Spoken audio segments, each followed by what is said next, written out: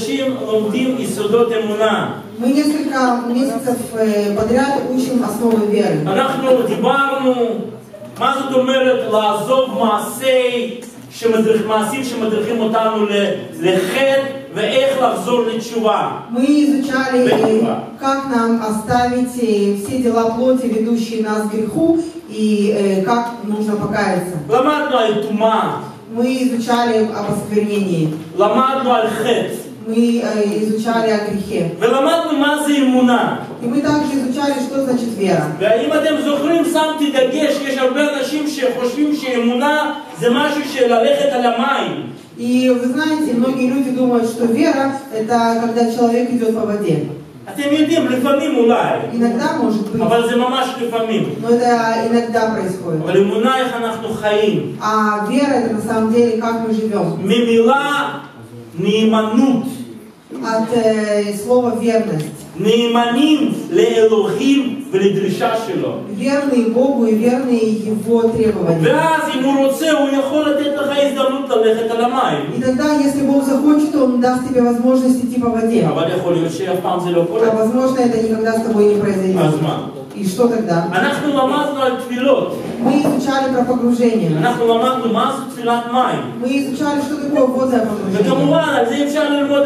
И, конечно, можно много изучать. Но мы э, учили то, что водное погружение – это принадлежность. это объединение. Кешер. Бум. Связь. Ты становишься одним с кем-то другим למדנו על תפילת רוח. Мы э, изучали также погружение в дух. ואז אני הסברתי שאולי פחות כדאי לנו לדבר על אישיות של רוח הקודש, И тогда я объяснил, что, возможно, нам стоит меньше говорить про личность Святого Духа, אלא יותר להיות פתוחים לפעילות של רוח הקודש. а больше быть открытыми для действия Святого Духа. כי על זה כתובים מדברים הרבה יותר. Потому что об этом Писания говорят намного больше. לפני כמה שבועות דימה נתן מסר, טופ מסרים שלו, על אה, מה זאת אומרת להתאבל באש. Э, Несколько недель назад Дима э, подготовил прекрасную проповедь по поводу того, как э, быть погруженными в огонь. ומה זאת אומרת? Что это значит? וגם אנחנו למדנו על הסמכת ידיים. И также мы изучали погружение, а, возложение рук. ועל פי איגרת אל העברים פרק 6, И согласно посланию евреям 6 главе, כל דבר הזה זה בייסיק, היסודות האמונה. написано, что все эти вещи – это основы нашей веры. ויש שם עוד שני יסודות שעלינו לדעת, И есть еще две, э, две основы, которые мы должны знать. תקומת מתים ומשפט עולם. это воскресение из мертвых и вечный суд. И сейчас мне выпало говорить о воскресении из мертвых. ושוב אני חוזר ואומר, לא יודע למה זה נפל עליי דווקא בזמן הזה, И я говорю, не знаю почему именно в это время мне выпало говорить про воскресение из мертвых. ישבנו שבעה על אבא שלי, Мы сидели шиву а, по моему отцу. ואני מודה לכולם עבור תמיכה שנתתם לנו. И Я благодарю всех за ту поддержку, которую вы оказали нам. ויחד עם זה, אני אומר שזה לא נגמר עדיין, זה עדיין בפנים מתפרפר. И я говорю, что, конечно, у меня еще не прошла эта боль. Естественно, внутри меня все это еще очень живо. אבל פעם אחרי פעם אני חוזר למילים שרב שאול אמר באגרת לתסלוניקים, Но раз за разом я возвращаюсь к тем словам, которые э, э, Рав Шауль сказал в послании фессалоникийцам. והוא אמר, אל תהיו יותר מדי באבל על אלה שנפטרו. Он говорит, э, не будьте уже настолько в трауре о умерших הוא ваших. לא אומר שלא צריך להיות באבל בכלל. Он не говорит, что совершенно не нужно а, носить траур по, уме- по כן, умершим. אנחנו אמורים לסבול, וזה אבל, זה קשה. Это понятно, что это траур и естественным образом мы страдаем. אבל потому что הוא очень אומר, сложно. יש לנו אמון בתקומת מן המתים. Но он говорит, у нас есть надежда э, на воскресение из мертвых. ואתם יודעים, בעולם פרוטסטנטי, В протестантском мире, לא כל כך הרבה מדברים על תקומת המתים, אני לא יודע למה. я не знаю почему, но не очень много говорят про воскресение из אומרים мертвых. כל הזמן עלייה לשמיים. Говорят каждый раз про вознесение на небеса. הנה, שוכב מת, אז אומרים, אה, הוא הולך לשמיים. он вот лежит мертвый человек, он говорит, он возне, уже вознесен на небеса. Это очень хорошо.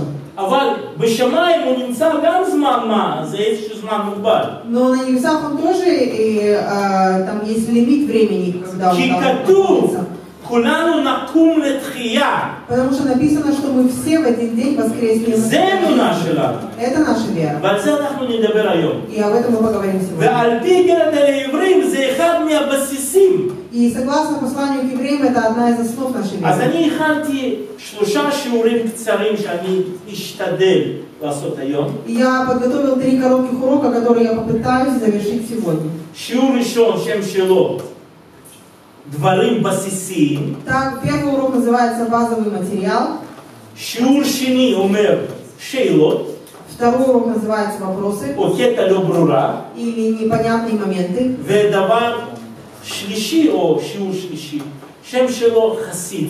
и третий урок – это «Хасид», правильно? Благочестивый. или уповающий на милость.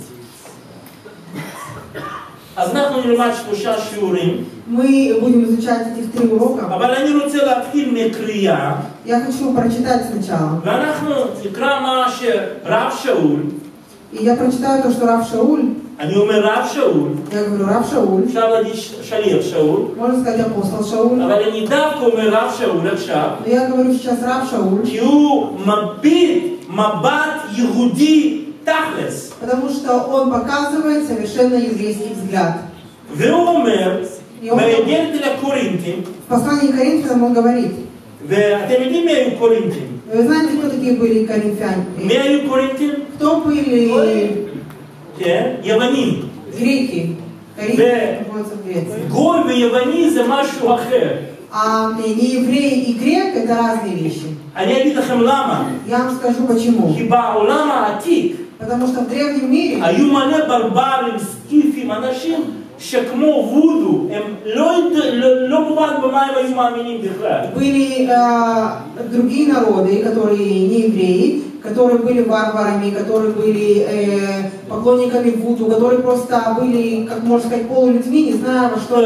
Яваним зая цивилизация. То есть они тоже отличались от греков, потому что греки в то время были цивилизацией. И они, у них были развиты совершенно разные представления. И Рав Шауль в первом Коринфянах בפרק 15, э, в 15 главе говорит, הוא מכריז להם מילה. провозглашает им такое слово. אה, יוסי, אתה יכול לפתוח בעברית? כן. ראשונה לקורינטים, 1 Коринфянам, פרק 15, 15 глава, ואולי אנחנו נקרא מפסוק 51, ואחד. и мы будем читать с 51 стиха. והוא אומר, הנה רז אגיד לכם, לא כולם נמות, כאילו, וברוסית כתוב יד קרויים ומתיינו, אבל כאילו, ליהודים זה לא היה סוד, И он говорит Коринфянам, я открою вам тайну, потому что для евреев это не было тайной. אבל ליוונים זה היה משהו שהם לא ידעו. Но для греков было что-то очень новое, что они не знали. הנה רז אגיד לכם, לא כולם נמות, אבל כולנו נשתנה. בן רגע וכחרב עין, בשופרך האחרון, שכן יתקע בשופר והמתים יקומו, בלי כיליון, ואנחנו נשתנה. כי מן הראוי שזה הכפוך לכיליון ילבש על כיליון, ואז הכפוך למוות ילבש על מוות. Говорю вам тайну, не все мы умрем, но все изменимся. Вдруг во мгновение ока при последней трубе, ибо вострубит и мертвые воскреснут нетленными, а мы изменимся, ибо тленному всему надлежит облечься в нетление, а смертному всему облечься в бессмертие. הטקסט הזה הוא קצת שונה ממה ששאול אומר לטסלוניקים, Этот текст отличается от того, что Шаул пишет фессалоникийцам. Потому что фессалоникийцам он говорит о вознесении. Кто помнит из святых писаний вознесение? Кто помнит? Три-четыре человека. А ты אתם זוכרים? בעברית התסלוניקים כתוב שבתקיעת שופר Фессалоникийцам написано при звуке шофара מתים יקומו ויעלו לשמיים, мертвые לעננים, воскреснут и вознесутся на облака, וגם אלה שחיים עד כה ישתנו וגם יעלו. а те, которые все еще живые, также в мгновение ока изменятся и вознесутся. אז קודם כל קטע של לקיחה זה קטע קצת מסובך, И а, вопрос вознесения, он немножко сложный. ואולי אנחנו נדבר על זה פעם. И, Возможно, когда-нибудь мы поговорим об этом. ובגלל הקטע של לקיחה, Из-за именно вопроса вознесения Цель нацрута протестанти в протестантском христианстве надура йонот Э, родились различные идеи, что вот мы поднимаемся на небеса, и там мы и останемся. Но согласно еврейским писаниям, Вознесение говорит совершенно о других вещах. Написано, что при втором пришествии Машеха это будет великое время רב אנשים שיקבלו אותו כמלך המלכים. присоединится великое число людей, которые примут его как царя царей. וכתוב שיקומו לתחיית צדיקים, И написано, что праведники воскреснут для жизни. ובאוויר, באיזשהו אופן, יועברו לירושלים, И каким-то образом они э, трансформируется в Иерусалим. Нет, перенесутся на облаках. Перенесутся на облаках э, в Иерусалим. И примут Машеха как царя царей. А в мы медабирим алзе. И в Фессалоникийцах говорится об этом. ורב שאול שהוא יודע חומר יהודי, И Рав Шауль, который, естественно, знает еврейское Румез писание, намекает на это. אבל אנחנו לא רוצים לדבר על זה. Но мы об этом не будем говорить אנחנו сегодня. פשוט נדבר על תקומת המתים. Мы проговорим про воскресение из мертвых. והנה רב שאול И вот Рав Шауль מכריז ליוונים провозглашает грекам, שכולנו נשתנה что все мы изменимся ונקום לתחייה. и э, воскреснем для жизни. ויוונים מסתכלים עליו И греки на него смотрят, וראש שלהם מסתובבת. и у них э, голова кружится. אתם יודעים למה? Знаете почему? כי יוונים התפתחו בתיאולוגיה או פילוסופיה לגמרי שונה. Потому что греки воспитывались совершенно другой философией. אני, אני אתן לכם משהו בקצרה Я על вам פילוסופיה יוונית. э, немного расскажу про греческую философию. והיו שם שלושה בתי ספר הגדולים. Э, В Греции были три больших э, к- э, школы философии. אחד שמו אינדיבידואליזם, Одна называлась индивидуализм, שפיתח אותה אריסטוטל. מי זוכר בחור בשם אריסטוטל? которую развил Аристотель. Кто знает? הוא היה Аристотеля? מורה של אלכסנדר הגדול. Он был учителем Александра Великого. והוא לימד И он учил так, שנפש של בן אדם что душа человека היא קשורה לגוף. связана с телом. וכשגוף מת, А когда тело умирает, נפש פשוט נהרסת, то э, душа распадается на мелкие части, и ее нет. והכל נגמר. И все заканчивается на этом. היה בחור אחר, Был другой парень, שמו פלטון. его звали Платон. פלטון לימד משהו אחר. Платон учил другому. הוא אמר שנפש של בן אדם סגורה בתוך גוף. Он говорил, что душа человека заперта внутри тела. ובשביל נפש, מוות של גוף זה טוב. И поэтому для души э, э, телесная смерть это хорошо.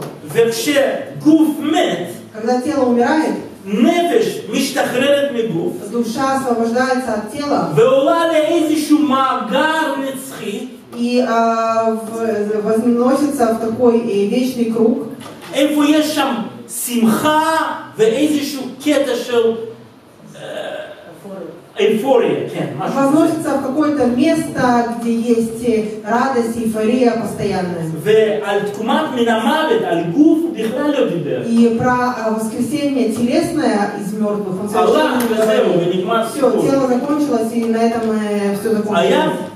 השכלה אחרת, בית ספר אחר, И была, друг- была другая еще школа, שדווקא בזמן, בזמן של שאול זה היה מפותח מאוד, которая именно во время Шауля была очень развита. ושמם אפיקוראים. И, и, и это учение называлось Пикурейское. והלימוד הגדול היה תשמח בחיים הזה, И большое и учение, основу учения составляла э, такая философия «радуйся в этой жизни», потому что после смерти уже ничего не будет.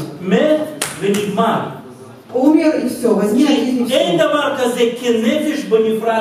Потому что нет такого, что душа а, э, существует отдельно от тела. И вот э, греческий общество, что частично веровавшие в то, что чему учил Аристотель, и частично в то, что учил Платон, а частично эпикуреи, э, последователи эпикуреи, эпикурейского учения, שומעים דעה יהודית. вдруг слышат еврейскую версию. ומה שאומר שאול, И то, что говорит Шауль, זה לא היה מתפתח רק באור של ברית החדשה, לא. а- оно не было только э, развито в свете Нового זה Завета. האמונה העתיקה שלנו, Это наша древняя вера, שקיימת תקומת מן המוות. что есть воскресение из мертвых. שזה קיים. Оно существует. והדבר הזה И это очень понятно любой еврейской голове. וכשביום אחד בן אדם אחר, שמו פטרוס או קיפה, И в один день, а, и когда в один день э, человек по имени Кифа или Петр היה עומד מול קהל יהודי стоял перед еврейским сообществом ומסביר להם על אמונה и במשיח, объяснял им о вере в Машех, במעשה שליחים פרק 3 בפסוק 21 הוא אומר в Деяниях 3.21 он говорит, שכשמשיח יחזור, что когда вернется Машех, הכל יבוא לתיקונו. все исправится. תיקון, Исправление, שיפור. улучшение. זה מביא אותנו להבנה, Это приводит нас к пониманию, אם יש צורך הכל לשפר, что есть, э, если есть нужда все изменить, אז יום אחד הכל כנראה נשבר.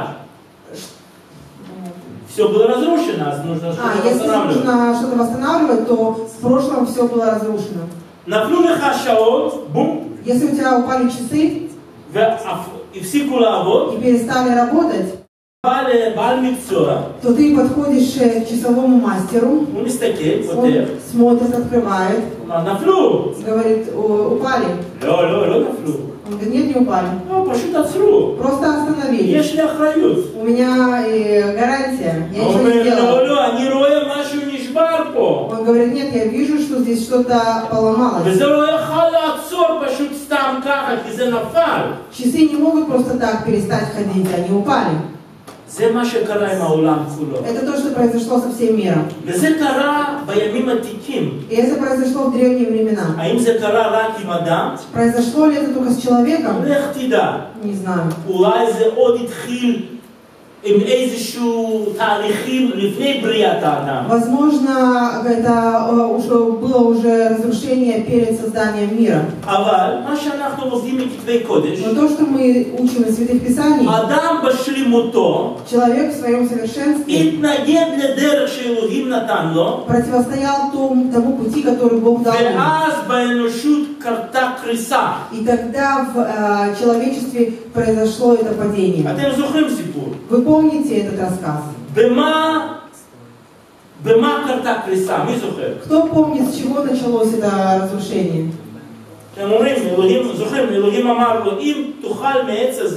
Помните, что Бог говорит, что если вы э, возьмете от плодов дерева познания, Мамы добра и зла, тонут. то смертью умрете. אז זה אומר שבן אדם יכל להיות לנצח. Это значит, что человек, если бы не поел, мог бы жить вечно. כאילו ככה אנחנו לומדים.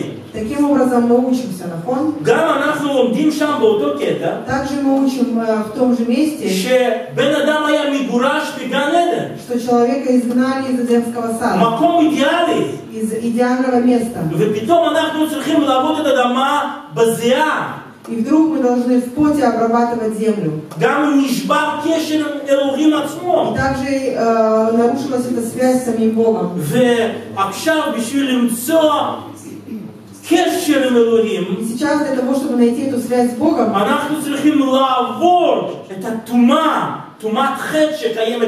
Нам нужно преодолеть это осквернение грехом, которое существует. И мы нуждаемся в жертве или в чем-то. Для того, чтобы Бог нас мог принять.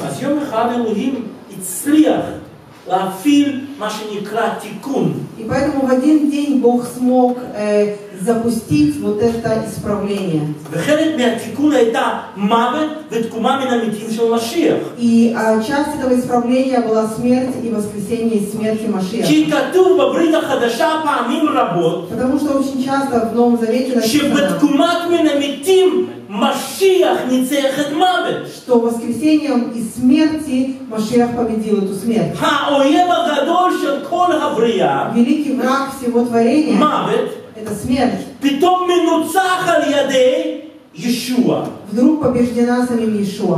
וכששליחים יהודיים, И когда еврейские או апостолы ישוע בעצמו, или сам Иешуа מדבר עם קהל, говорили с э, обществом עם своим, קהל יהודי, с э, собранием евреев, דיברו על תקומת מן המתים, они говорили о воскресении из הכל мертвых. היה כל כך מקובל Было וברור. понятно и принято. אני רוצה לקרוא כמה מקומות. Я хочу прочитать несколько мест Писаний. אז אה, קודם כל, אם אנחנו פונים למעשי השליחים, Во-первых, если мы обращаемся к деяниям, לא חייב לפתוח.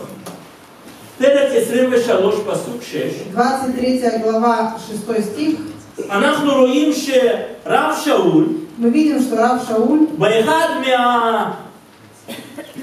מההרצאות הגדולות שלו, в, одни- в одном э, из своих больших лекций היה נעצר, его остановили. והביאו אותו לבית דין דתי, Его арестовали и его э, повели в э, Синедрион.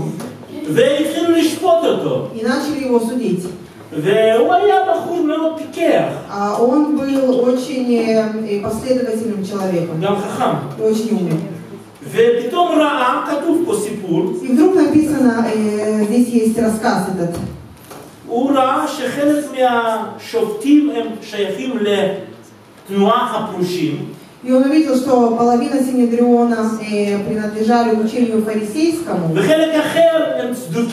а половина садукейскому. Во что верили садукеи, немножко сложно понять. Э, скорее всего, они э, были нечто как Платон. не поняла, придерживающие учению Платона. כלומר, זה לא שהם שללו לגמרי תקומת מן המתים, То есть не то, чтобы они полностью отвергали воскресенье, אבל из мертвых, כנראה התנועה או ה- ה- ה- ה- ההשפעה של אליניזם השפיעה עליהם ככה שהם דיברו על איזשהו מאגר של אופוריה, ולא היו צריכים את התקומת מן המתים בבשר. Возможно, на них повлияло эллинистическое учение, и они верили, что после смерти душа попадает в свое э, место вечной эйфории, и не нужно воскресение из אבל мертвых. הפרושים, כמו שאול, הם היו לגמרי מאמינים בתקומת המתים. Но фарисеи и один из них Шауль верили, э, естественно, в воскресение из мертвых. ואז שאול צועק ואומר להם, חבר'ה, אני פרוש מן הפרושים. И тогда э, Шауль говорит, я тоже фарисей, אני לוחם עם כל הגויים האלה על תקומת המתים, מה אתם И מדברים? меня сейчас здесь судят за то, что я говорю, э, учу всех этих э, неевреев о воскресении из мертвых. בפעם הבאה, В следующий раз, כשהוא עמד מול מלך אגריפס, когда он стоял перед царем Агриппой, וזה היה כבר משפט יותר אזרחי, и это был уже более гражданский суд, אבל מלך אגריפס גם לא היה טיפש, но царь Агриппа тоже не был дураком. והיה מאמין בכל מיני דברים תיאולוגיים. Он верил в различные теологии. שאול אומר, בתקומת המתים, עבור Он говорит, за проповедь воскресения из мертвых меня судят. אז אגריפס אז אמר לו, שאול, וואו, אתה משפיע עליי כל כך, שאני כמעט הופך להיות אה, תלמיד של ישוע אחרי, אחרי המילים שלך. И он говорит, «Э, ты на меня настолько повлиял, Шауль, что я уже думаю о том, чтобы мне присоединиться и стать учеником Иешуа. וזה הייתה בזמן הזה בושה גדולה. И для меня, и, и, вернее, в то время это было, был большой стыд. אז שאול אומר לו, אני מאחל לך שתהיה תלמיד של ישוע, חוץ מהאזיקים האלה. И он говорит, я желаю, чтобы все были подобными мне, э, то есть были учениками Иешуа, кроме э, сих уз.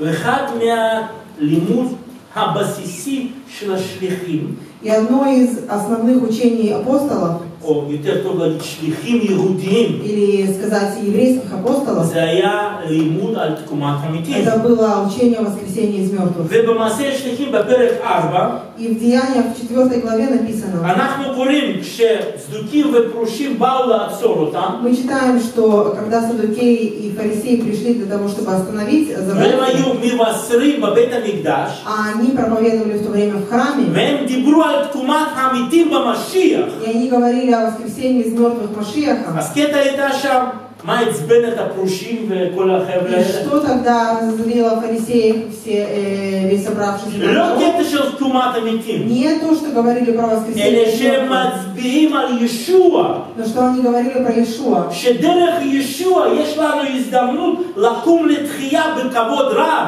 Что через Иешуа у нас есть возможность э, воскреснуть из мертвых для вечной славы. עוד קטע אחד שאני רוצה לספר לכם ולהסביר, בטוח שאתם יודעים את זה. И еще одно я хочу рассказать вам, и я думаю, что вы знаете об этом. אתם זוכרים, היה איש בשם לזרוס. Вы помните Лазаря? זו הייתה משפחה, לזרוס, מרים ומרתה, Это была семья Лазаря, две его сестры, Мария и Марфа, בית לחניו, איך קוראים למקום הזה, קרוב ללטרון עכשיו. и, э, которые жили в... Бейтания, Бейтания. Которые жили вместе, называется Бейтания, возле Латруна. Можно туда поехать на машине. Час от Хайфи. Лазарус мет. И Лазарь умер. ואישו ידע, הוא היה עם תלמידיו, וברוחו הרגיש שלזרוס הולך למות. И он еще знал, он э, был со своими учениками и в своем духе чувствовал, что Лазарь при смерти. וגם בנות, האחיות, שלחו אליו שליח להגיד, תבוא, ת- תרפא את לזרוס. И также сестры Лазаря послали к нему посланника для того, чтобы позвать его, сказать, приди и исцели Лазаря. אבל ישוע לא מיהר, Но Иешуа не поторопился, ולזרוס מת. и Лазарь умер. וכשישוע עם תלמידיו הגיע לעיר ביתניה, И когда Иешуа по- при- пришел в этот город со своими учениками, לזרוס כבר היה קבור מספר ימים. то Лазарь был уже э, погребен несколько дней. והוא אומר, בואו בוא, תראו לי את הקבר. И он говорит, покажите мне эту пещеру, где его погребли. ומרתה אומרת לו, לו היית מגיע כמה ימים לפני, לא, היית, לא היה מת לזרוס, אח שלנו. И Марта говорит, если бы ты, учитель, пришел несколько дней назад, то брат бы мой не умер. וישוע אומר, אני אקים אותו לתחייה. А Ишуа говорит, я его воскрешу. מרתה הייתה כל כך בטוחה и Марта настолько была уверена в том, что Ишуа обладает властью. Но она не думала, что, он, что она говорила про, э, что он говорит про сейчас. И она говорит, я знаю, конечно, что Он воскреснет для вечной жизни в день воскресения. Почему я вам и говорю про это все? Несмотря на то, что в Танахе самом... מילים על תקומת מנביאים. Нет очень много про воскресение из мертвых. הקטע של תקומת המתים זה היה קטע מאוד בסיסי בכל עם ישראל. Но это, это вопрос воскресения из мертвых был базисным для всего народа Израиля. Каким образом а, воскреснуть? Воскреснуть для славы или воскреснуть для наказания? Вот это вот большой вопрос. ועכשיו אנחנו ממשיכים И сейчас לדבר. мы продолжаем говорить. אז עכשיו רציתי פשוט לדבר על קטע של תקומת מן המתים, שזה היה קטע בסיסית לגמרי. То, что я вам хочу сказать, что э, для еврейского народа всегда во все времена вопрос воскресения из мертвых это было что-то общепринятым. אבל מה קורה כשבן אדם מת? Но что происходит, когда человек умирает? מה אחרי הגבול הזה? Что после этой границы? אתם יודעים, יש הרבה שאלות. Вы знаете, есть очень много вопросов. ויש הרבה אנשים שאומרים, אני יודע בהחלט, И есть много людей, которые говорят, я точно знаю, אבל זה שטויות. но это глупости. כי בהחלט לא יודע אף אחד. Потому что точно не знает никто. וחיים אחרי מוות, А жизнь после смерти, או יותר טוב להגיד מקום אחרי מוות, или лучше сказать место после смерти, השם שלו שאול. его, оно называется Шиоль. ויש רבים שטוענים שמילה שאול באה ממילה שאלה. И э, многие говорят, что вместо Шиоль и э, происходит от слова Шейла вопрос. יש שאלה מה יש. Есть такой вопрос, что есть там. Есть на Есть. русском Шиоль? Шиоль есть перевод? преисподня. פרי- אה, ד- אה, מילה שאול, אתם יכולים אה, לראות את זה כמילה פריספודיה, כשאתם קוראים על אה, אבות שלנו. יעקב היה בוכה על מות של אה, יוסף, הוא אומר, "ב- ב- בעצב אני אלך לשאול. Э, На русском языке часто пишут слово «шеоль» как преисподней. И Яков, э, когда э, скорбел по смерти своего сына, он говорит, э, в с- в скорби своей я сойду в преисподней. אבל במילה הרוסית פריספודיה, Это, а, это не тонало. נכון, נכון, זה, זה, זה, זה נשמע כמשהו גרוע, Но на русском языке, когда мы говорим преисподней, все сразу думают про ад. А это звучит ужасно. אבל זה לא נכון. Но это неправда. כי שאול זה, זה משהו אחרי מוות. Потому что преисподней это что-то после смерти. ופשוט אני נותן להם כמה דעות. И Я просто даю вам несколько различных ואתם יכולים идей. לעמוד בדעה איפה שאתם רוצים, אגב. Вы можете, кстати, придерживаться своего мнения без проблем. כי מקום שנקרא שאול ממילה שאלה, אם יש לכם איזשהו בסיס, בבקשה. Потому что то место, которое называется Шиор от слова Шиила вопрос, э, если у вас э, есть какое-то мнение по нему, то все нормально. אבל אני מסביר איך דתות שונות מסתכלים על זה. Но я смотрю, я объясняю, как разные мнения говорят об этом. מי זוכר סיפור שישוע סיפר על איש עשיר ועני טוב. שמת והם שניים הלכו לשאול? Кто помнит про место, когда Ишо говорил про богача и бедного Лазаря, когда они оба умерли и пошли в преисподнюю? רוב העולם הפרוטסטנטי בונה את העולם ה- אחרי מוות דווקא על ה- על התמונה הזו. А, В основном протестантский мир строит картину жизни после смерти э, на этом рассказе. הנה לזרוס הועבר למקום איפה שנח אברהם, Вот Лазарь перешел на лоно Авраамова, והעשיר היה בגיהינום או ב... ב- לא יודע איפה שם. а богач במקום איפה пошел יש חום, в адский э, жар. אבץ חיז'ר. אבל אנחנו צריכים להבין Но нам нужно понять, שזה סך הכל משל, что это просто притча. זה סיפור. Это расскaz. ישוע נותן אותו בשביל להרגיש כמה, להדגיש כמה עניינים. Ишуа говорит по эту притчу для того, чтобы э, подчеркнуть несколько вещей. ולא לתאר את גיהינום או, או גן עדן. Не для того, чтобы описать рай или ад. שם יש בכלל קטע אחר, או כמה קטעים אחרים. Там несколько других э, смыслов этой אתם притчи. זוכרים באיזשהו רגע אה, האיש העשיר אומר לאברהם, Вы помните, что на определ- э, в определенный момент э, богач говорит Аврааму, שלח את לזרוס להגיד לאחים שלי שהם לא יהיו כמוני ויהיו חיים צדיקים. «Э, пошли, пожалуйста, Лазаря э, в моим родственникам для того, чтобы они не пришли в это место мучения, מי זוכר את זה? чтобы они жили праведниками. ואתם זוכרים מה אברהם עונה לו? А помните, что Авраам говорит ему? יש להם משה ונביאים, У них есть Моше и пророки. ואם מישהו יקום ממוות לא יאמינו לו. А если их не אם לא слушают, מאמינים למשה לנביאים. если Моисея и пророков не слушают, то даже если кто воскреснет из мертвых, не המשל поверят. של ישוע היה מכוון לגמרי לכיוון אחר. Э, Притча Ишуа совершенно про другое говорила. הוא היה פשוט אומר לכל ישראל, Он просто говорил всему אני Израилю, הולך לקום לתחייה, я воскресну, ואתם רוצים להאמין בי בלי משה ונביאים? а вы хотите поверить мне без Муше и לא пророков? תצליחו. Не, по- не получится. אבל אם בעקביות אתם מאמינים במשה ובנביאים, А если вы верите Муше и пророкам, גם תאמינו בי то тогда и в меня שאני поверите, יקום когда מהתחייה. я воскресну. זה המשמעות של המשל. Это значение притчи. נכון. כי אם אתה לא בהחלט מאמין במה שאמר משה ונביאים, איך אתה יכול בהמשכיות להאמין בהתגלויות מאלוהים. Одна царта Багитахали, когда наши дали, то гимну Луэса. Потому что и Лазарь воскрес, и ему не поверили. Если ты действительно не веришь сначала Торе, пророкам, Писаниям и всему, то э, ты не поверишь и ты ничего не поверишь. Ты не можешь с э, первого класса перепрыгнуть в пятый. А зона протестанты, мамин. Протестантский мир верит в то, что есть рай, и в то, что есть ад. Если ты не веришь, ты точно попадешь в ад. И э, там так жарко, что у тебя голову сносит. О, та пашут немца бананим. Или ты попадаешь в рай и наслаждаешься на волнах.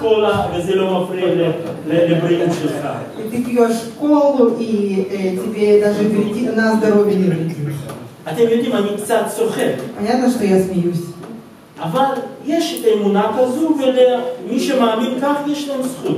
И есть такая вера, и тот, кто верит, э, пусть будет на здоровье. יהדות האוריגינלי, לא מודרני, האוריגינלי, И оригинальный иудаизм לא מסתכל על זה כך. так э, на этот вопрос не смотрит. אגב, גם קתולים מסתכלים על העניין הזה כמו יהדות. И, кстати, католики э, верят подобно тому, что верят евреи. הם אומרים ככה, Они говорят так. אחרי שבן אדם נפטר, После того, как человек умер, קודם כל, הבן אדם הפנימי זה, זה ארגון מסובך. э, внутренний человек это сложная система. אז חלק מהארגון הזה Поэтому часть этой системы הולכת ישר לאלוהים, идет сразу к Богу. נשימת חיים, Э, дыхание жизни. ונמצא אצלו מאיפה בא. И идет туда, откуда он пришел. חלק אחר של בן אדם Часть э, другая человека, פשוט יושנת, שינה. оно идет спать. וכתוב על זה בכתבי קודש. И написано в Святых Писаниях. אם מישהו רוצה, אני יכול לתת לכם מקומות איפה שכתוב על И זה. Если кто хочет, я могу сказать, где написано. בישעיהו 14, 9 שם כתוב ישנים, ישנים. В Исаии אה? Каждый Амидовый говорит иначе. נכון, ישני עפר. טוב, אבל המידה זה לא כתבי קודש, אז לא חשוב. חלק, חלק מהנשימה, נפש, היא יושנת. часть души спит, וחלק אחרת של נפש а часть другая души עוברת מין ניקיון. идет в чистилище. זו מילה חזקה מדי. כן, אבל אני לא קתולי, אז למה את מתרגמת אותי כמו קתולי? Идет, проходит э, процесс очищения. מה זה אנחנו לא מבינים? Э, что это мы не понимаем? אבל ישוע רומז על זה. Но Ишуа намекает на это. אם אנחנו פותחים מתי פרק חמש, Если мы открываем Матфея пя- пятую главу, יש שם סיפור אם אתה הגעת לפני אלוהים להביא לו קורבן, если ты пришел к Богу, чтобы принести ему жертву, ופתאום זכרת שיש לך ריב או חוב עם אח שלך, а вдруг вспомнил, что у тебя есть ссора или долг перед אז твоим תעצור братом, שם то остановись на этом месте. ולך ותסגור את החשבון שלך עם האח שלך. Иди и примирись прежде с братом своим. או אחרת תיכנס לבית סוהר Или зайди в, э, или иди в тюрьму, ותהיה שם עד שאתה תשלם פרוטה אחרונה. э, или тогда тебя возьмут в тюрьму, пока ты не, не оплатишь э, весь свой долг. זה בעצם רעיון Это идея, שחלק של הנפש, что часть души, לא כל הנפש, שם не вся душа, עוברת מין ניקיון. проходит процесс очищения. ופה אנחנו מאוד תלויים И здесь мы очень сильно зависим איך היינו בחיים האלה. от того, как мы жили в этой жизни. במה היינו מאמינים? Во что мы верили, על מה הסתמכנו? на что мы уповали, מי היה הכיוון שלנו? кто был нашим направлением. ופה נכנסים לעניין כל ההבטחות שישוע נותן לנו. И здесь мы заходим э, в такой э, вопрос, что все э, обещания, которые Ишуа дает нам, או חסד שהוא יכול להעניק לנו. или милость, которую Он может оказать нам. ויש אנשים שממש חושבים שחסד בזכות של מישהו זה דבר מוזר לברית החדשה. Есть люди, которые говорят, что милость благодаря кому-то это очень странная вещь для Нового יש Завета. לנו רק חסד בשם של ישוע, У нас есть э, только милость во имя Ишуа, אבל זה לא נכון. но это неправильно. קודם כל, סיפורים תנכיים מסבירים לנו משהו מעניין. Во-первых, э, истории из Танаха нам объясняют что-то интересное. חיים צדיקים לדוגמה של מתושלח, Например, э, праведная жизнь э, מפוסאילה, Мафусаила, הייתה מחזיקה עולם ממבול. э, она удержала и этот мир да, от того, чтобы был потоп. אבל כשהוא מת, אז מבול בא. Но когда Мафусаил умер, то Бог послал потоп на эту землю. אתם זוכרים איך אברהם מדבר עם אלוהים על סדום ועמורה? Вы помните, как э, Авраам э, говорил с Богом по поводу Содома и Гоморры? Пусть вот десяти праведников. והוא אמר, אם יש עשרה צדיקים, И он сказал, и он спросил у Бога, что если есть 10 праведников, אז בזכותם לא, יפ... לא ישפך דין על סדום то, וגמורה. он, то э, ра- ради этих 10 праведников ты не уничтожишь Содом и Гоморру. וברית החדשה אומרת לנו ככה, И Новый Завет говорит нам так. אם אתם פותחים איגרת אל הרומים, Если вы откроете римлянам פרק 11, 11 главу, פסוק 27 ו-28, יוליה, אם את יכולה לקרוא את זה ברוסית. э, римлянам 11 глава, 27-28.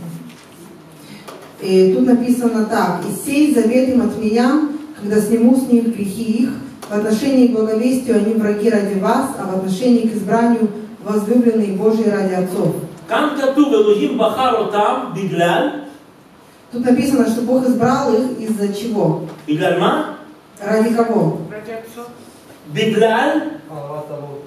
בגלל, Халават того. בגלל כל הדברים שאברהם, יצחק ויעקב עשו. Ради, ради отцов, ради Авраама, Ицхака и אז Якова. זה קטע לא מוזרה. И это ничего, это совсем не странно. ועל בסיס הזה אני רוצה ללמד שיעור האחרון להיום, И я на этом основании хочу вам преподать последний урок на сегодня. חסיד, И э, упавающий на благодать. хасид, уповающий на благодать. אתם יודעים, מאה- מזמן Э, Давно היו דברים были вещи ב- בישראל в Израиле, שאנשים היו תלויים בחסד של מישהו. когда люди зависели от э, праведности, от милости кого-то. ואנחנו בדרך כלל לומדים שחסד, חסד של אלוהים, И мы учим то, что милость Бога, סליחה, אני קצת מצונן, Дай Бог. סורי.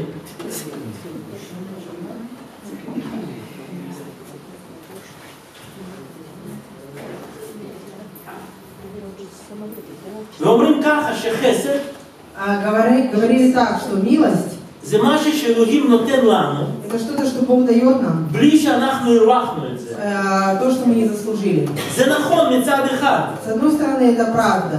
כאילו הוא נותן לנו משהו Он дает нам что-то, שאנחנו לא הרווחנו את что זה. мы не заслужили. אבל יש עוד פרינציפ בכתבי קודש, שאומר מידה כנגד מידה. כלומר, הכל צריך להתאזן בעולם הזה. ואם אלוהים משחרר איזשהו חסד, אז צריך להיות איזשהו תשלום על זה.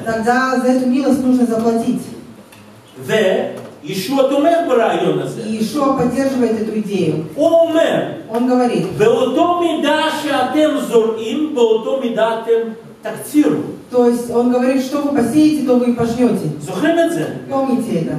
Вемазе омер. И что, а, о чем здесь говорится? Кше Исраэль кибель хасадим меэлохим. Когда Израиль получил милость от Бога, а в тот же момент э, приносили жертву. אז קורבנות קיבלו את העונש, Поэтому жертвы получили наказание, וישראל היה מקבל חסד. а народ получил милость. אותו דבר קורה איתנו То же самое происходит с нами, באמונה שלנו в בישוע. нашей вере в Иешуа. בגלל שאנחנו מאמינים שהוא קיבל עונש עבורנו, Из-за того, что мы верим, что Иешуа получил за наше наказание, אז ברית החדשה אומרת לנו Новый Завет говорит нам, שכל החסדים שאנחנו רוצים לקבל, что все эти милости, которые мы хотим получить, אנחנו מקבלים בגלל שהוא כבר קיבל את העונש. мы получаем, потому что он уже получил когда-то наказание. בגלל זה, אתם יודעים, שם שלנו בארץ זה חסיד, אה, יהודים משיחיים, Э, Нас э, называют и мессианские евреи, אבל אולי שם יותר נכון בשבילנו, но может быть лучшее имя для название для нашего течения זה חסידי ישוע. это уповающие на милость Иешуа. כי אנחנו לגמרי מאמינים Потому что мы полностью верим, שבחסדו יש לנו הבטחות, что Его милостью у нас есть обетование. И одно из больших обетований, что воскресение из мертвых, мы идем за Ним.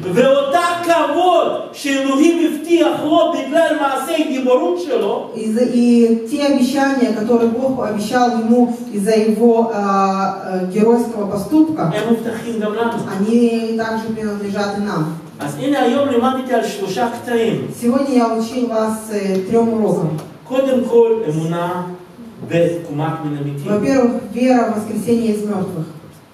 אנחנו גם מקבלים שיש עולם שאנחנו לא רואים אותו. Мы также принимаем тот мир, который мы не видим. איך שם אנחנו לא בדיוק יודעים. Как будет там, мы не знаем. אבל בגלל אמונה שלנו במשיח, Но из-за нашей веры в Машиаха, הוא מבטיח לנו ששם אנחנו לא עוברים את הקיפש הזה. Он обещает, что ואולי יש, בטח שיש איזשהו ניקיון, мы не будем проходить весь этот балаган. Конечно, есть какое-то очищение, אבל יש הרבה חסד. но есть очень много милости. אבל הקטע הגדולה ביותר, Но самый великий вопрос, שהוא מבטיח שאנחנו נקום לתחייה בכבוד. самое великое обещание его, что мы воскреснем из мертвых для славы. И увидим его, потому что будем подобными ему. זה ההבטחה. Это обетование. יש הרבה שאלות, Есть много вопросов. יש הרבה דברים שקשה להבין אותם, Есть много пунктов, אבל которые сложно כל понять. התמונה Но вся эта картина בתוך השאלות האלה в этих вопросах, מחזקת את התקווה שלנו. она укрепляет нашу веру.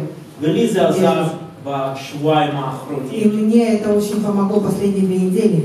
אני רוצה לסיים. Я хочу завершить. ואני רוצה לסיים שאנחנו נעמוד ויצחק יבוא לפה ואנחנו נקרא ביחד מקדיש. Давайте мы встанем, и я и хочу, чтобы Исхак подошел ко мне, и мы прочитаем молитву Кадиш.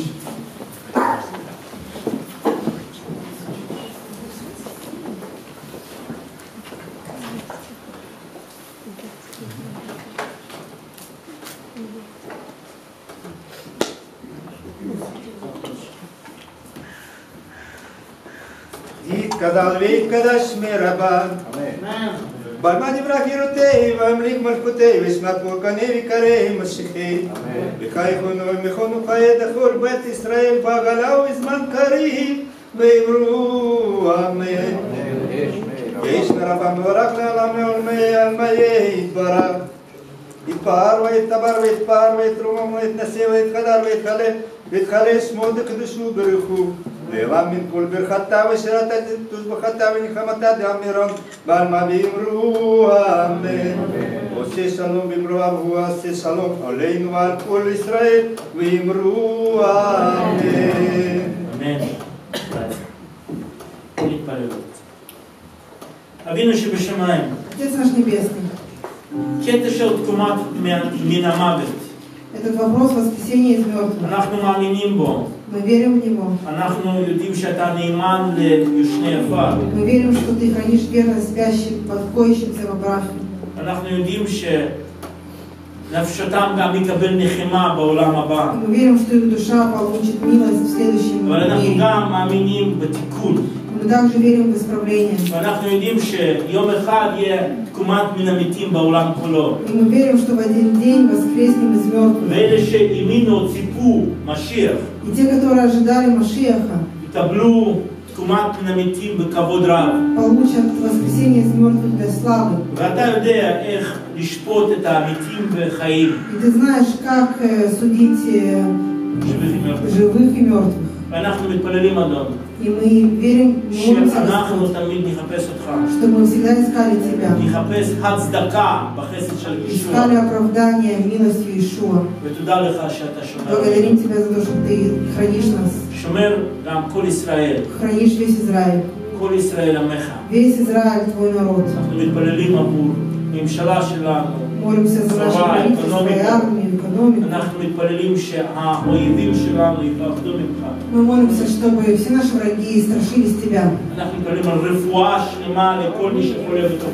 И мы молимся о исцелении всех, кто болеет в нашей общине. И молимся за народ Израиля, чтобы принял обещанного Иешуа Машиаха. ואולי הם לא רוצים לשמוע הסברים שלנו, И, возможно, они не хотят слышать наши объяснения, אבל אתה יודע איך להסביר לכל אחד но ты знаешь, как объяснить каждому אמת שלך. твою истину. תודה לך, אבא. Благодарим Тебя, Отец. תודה לך. Благодарим Тебя, Господь. אמרו אמן. Скажем Аминь. יברך לך אדוני וישמרך. יאר אדוני פניו אליך ויחונך. יישא אדוני פניו אליך. וישם לך שלום. בשם ישוע המשיח. ואמרו אמן. שבת שלום, שבוע טוב.